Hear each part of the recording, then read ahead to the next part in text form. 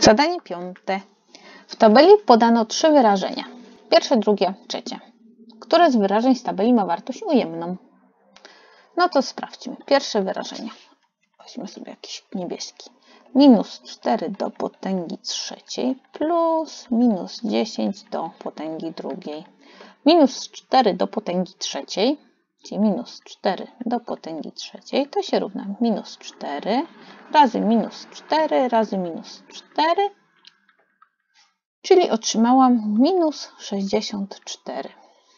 Minus 64 plus 100, już piszę dlaczego 100, minus 10 do potęgi drugiej to się równa minus 10 razy minus 10, czyli 100.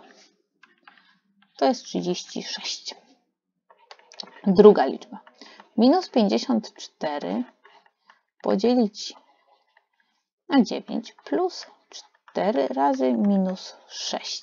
Pamiętamy, najpierw wykonujemy mnożenie lub dzielenie, czyli 50, minus 54 podzielić na 9 to jest minus 6 plus 7 razy minus 6 jest minus 42, czyli otrzymałam minus 48. Trzecie minus 4, oj, minus 4 razy minus 2 do potęgi trzeciej i to do drugiej. To się równa. Minus 4 razy minus 8 do potęgi drugiej to się równa minus 4 razy 64, czyli minus 256.